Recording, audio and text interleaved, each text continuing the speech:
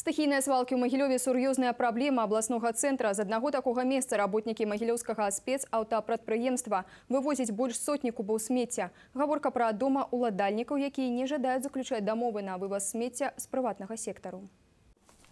Працоўны Миколай цягне чарговы мех са смеццем. Роў па завулку тэкстыльшчыкаў спецаўтапрадпрыемства чысціць трэці дзень. Много мусора? Тяжелый. Ну, конечно, мы очень много. Все закинуто, все заброшено. Наверное, должна быть хорошая физическая подготовка с таким-то мешком из рва. Ну, конечно, да. Ну, приходится, надо работать. Гэтае месца адно з праблемных у Магілёве. Роў толькі з другога боку чысцілі не так даўно і зноў эфект дэжавю. Свалка не первого дня, она собирается здесь меся- месяцами, годами. И, ну, если честно сказать, то мы чистим ее один раз в год обязательно. Может быть и два, весной, летом, осенью, когда попадет.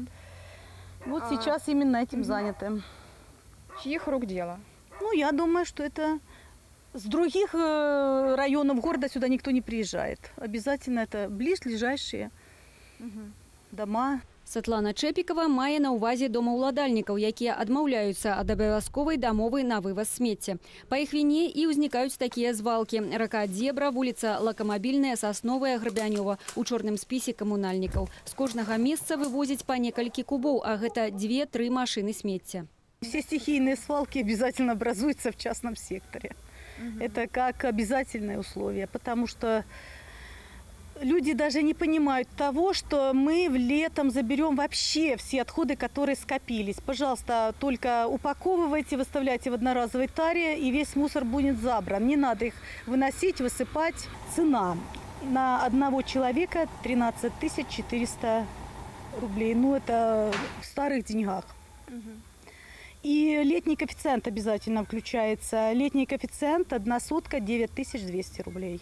Між тым машына па графіку забірае смецце ўжо каля домаўладанняў на рабочым пасёлку. У Магілёве заключана 18 138 дамоў на вываз смецця з прыватнага сектара. Меня лично устраивает. Сколько раз в неделю приезжают? Один раз. Понедельник. Все убирают? То, что мы выставляем, у нас все берут. Все прекрасно. Нам все нравится. По договору сколько стоит? По-моему, 42 рубля. Все хорошо, не-не, претензий нет. М, Какие могут быть претензии? Все, вы же сами видите, все чисто, все, все убрано. Ну а цена? Ну, цена, цена, ну что, за ценой мы не постоим, как говорится. Главное, чтобы было чисто. Главное, чтобы было здоровье, вот, вот, вот будущее наше.